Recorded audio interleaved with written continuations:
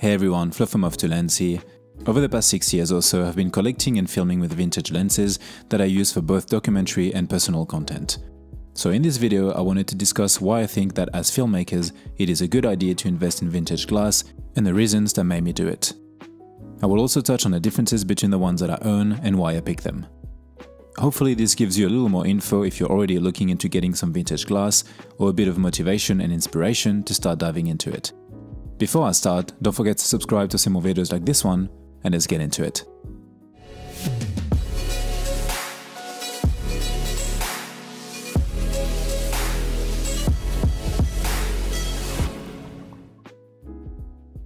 This video is sponsored by FilmConvert. I think as people we're always attracted to old stuff. Whether it be cameras, accessories or clothes, we love old cars and vinyls, we're always yearning for the past and older generations. This is why more and more people nowadays shoot 35mm stills or go back to even using disposable cameras. Retro is trendy. I still have my PlayStation and my Game Boy for example, and we have quite a few old books at home. Social media also has a huge impact with the use of vintage filters or songs, and with the way the younger generation present themselves. When it comes to filmmaking, we see some of the best filmmakers today still shooting films like Nolan and Hoyte, which in turn inspire people to do the same or to learn how to do it. And even DPs like Greig Fraser, that can have access to every single lens they want in the world, still choose to use rehoused vintage Soviet lenses. At a more relatable level, brands like DZO Film, for example, create new cine lenses with a touch of vintage. But now I want to talk about my personal history with vintage glass and the reasoning behind it. Also, I will try to list as much of the gear in the description below. I've always been interested in old cameras and lenses, and my mom and dad always had one around growing up, so I ended up keeping them and I still have some today. I bought my first vintage lenses for photography back in 2018. They were the Canon FDs. I used them and still use them on my Canon AE1 program. But soon after, I started using them to film on my BMPCC 4K. It was the first time that I was using old lenses on a new digital camera. The year after, I decided that I wanted to build a set of vintage glass, and after doing some research, I opted for the Contax Zeiss which I love. Since then, I've used them on and off for different projects, both personal and commercial. The 28mm is one of my favorite lenses. Over the following years as my YouTube channel grew, I got to test and use a lot of lenses, and more specifically cinema lenses. From Super 35 ones to full frame and even anamorphic. And of course, I feel very fortunate that I'm able to have access to such amazing and diverse lenses, but it also made me stop looking into older glass. Recently, after watching movies like Dune Part 2 and The Batman, like a lot of filmmakers around the world, I spent a bit of time diving into the behind the scenes, and of course the Soviet lenses became once again a trendy topic, especially the Helios 44-2. I have always been of course aware of this lens, but the reason that I never got it is that since I use primarily Super 35 sensor cameras, I knew the focal length wasn't right for me. Now that I use a Blackmagic Cinema Camera 6K that is full frame and shoots open gate in a 3x2 aspect ratio, it changes things for me. So I decided to finally get the Helios.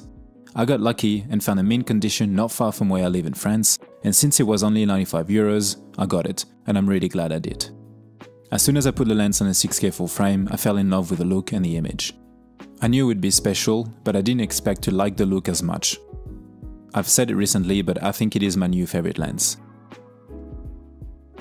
I like it so much that I decided to also get the Mir 37mm in order to have at least two Soviet lenses if I needed to shoot a project on them. Stay in touch as I might also do a short test footage video of the Mir 37mm. So today, these are all the vintage glass that I own, and I don't intend to sell them anytime soon. Which brings me to the core of this video, why invest in vintage lenses? But before we get into it, here's a quick word about today's sponsor, Film Convert. I have been using FilmConvert for so many years now for pretty much all of my work, from documentaries to travel and personal content.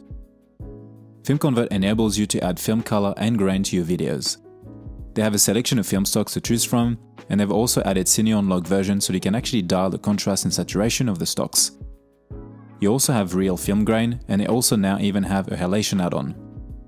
I love the look of film, and using film stocks and real grain is a great way to find that aesthetic with digital cameras, this is also a nod to the past in some ways. And even though all my projects are very different in terms of location, atmosphere and subject, they still have that same organic feel and aesthetic, whether I'm filming landscapes or people, or if I use cine or vintage glass. All the footage you have seen in this video was graded using FilmConvert, including the latest Helios one. Using film emulation for footage shot with a vintage lens made even more sense to me and it really suited the distinct look of the lens. For this particular video and for most of my work, I used the stock KD5207. Here's a quick before and after.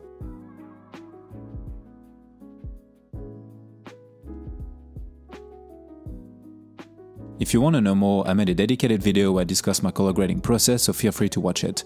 And don't forget to check out the link in the description to get 10% off.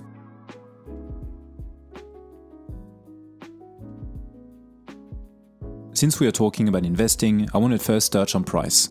Vintage lenses are usually very affordable, especially when compared to modern cineglass, unless of course they're extremely rare or special. The second reason is that they hold their value very well and might actually gain value in the years to come. So they are worth keeping and even if you decided to get rid of them, it would most likely be for the same amount of money or slightly more. Now let's get into the creative part. Vintage lenses usually have a look. They have loads of character, that can be flares or bokeh for example. They are not what you would call clean or clinical. Take the Helios for example. This lens is a perfect illustration of a distinct look.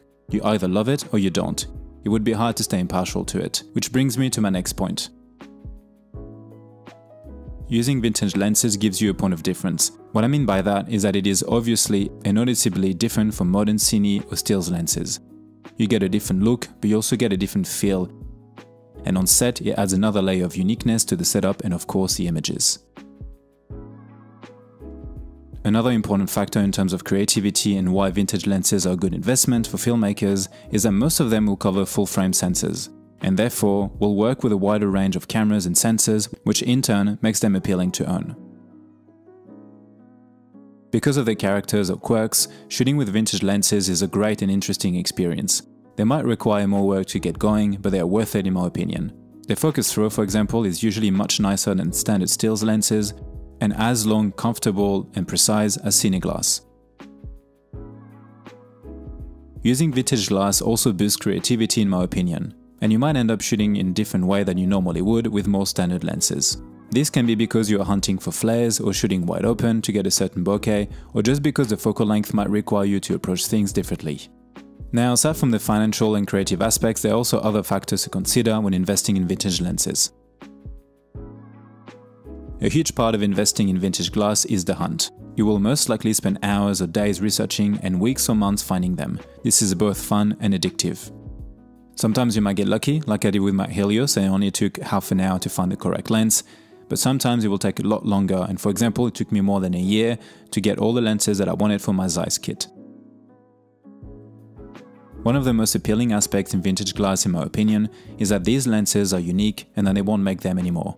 The serial numbers for example become a bigger part of the lens's characteristic than it would in a modern lens. It's crazy to think that for example my Helios is 51 years old. I love that it has been on this planet for longer than myself and I love to think about the cameras it has been used on and where and by how many people. One of the biggest reasons to invest in vintage glass is that as filmmakers, we basically have three levels that we can get and use these lenses in.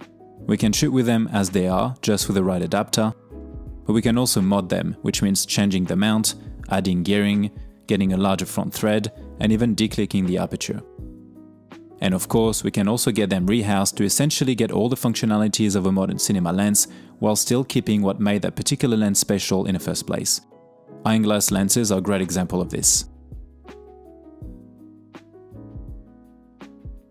I also wanted to touch briefly on what makes the lenses that I personally own different from one another.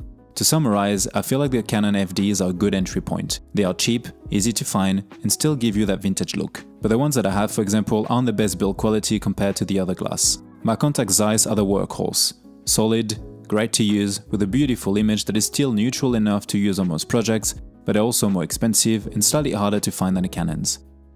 Then we have the Soviet ones. For these lenses, character is key. In my opinion, they are to be used when you need to have a very distinct look. You get loads of flares and that crazy swirly bokeh, which is amazing of course, but not usable on all projects. They also happen to be very well made and cheap to buy. I don't think there's one better than the other, it just comes down to budget, availability, the look needed, and of course your type of work. As with all filmmaking gear, once again it depends on the reasons that you need to get vintage lenses. Are they for work? How many can you afford? And of course, they also need to fit your type of work. Personally, I mostly do short documentaries, personal and outdoor content, and I usually have control over the style and creative process of the piece. There's also a risk in buying vintage lenses. You can have mold, fungus, haze, and a bunch of other problems that modern lenses won't have. But as I said, it is a fun process to hunt for them, and they can become a very important part of a filmmaker's kit with a beautiful look and relatively affordable price. That's it for me for today guys, hopefully you've enjoyed this video.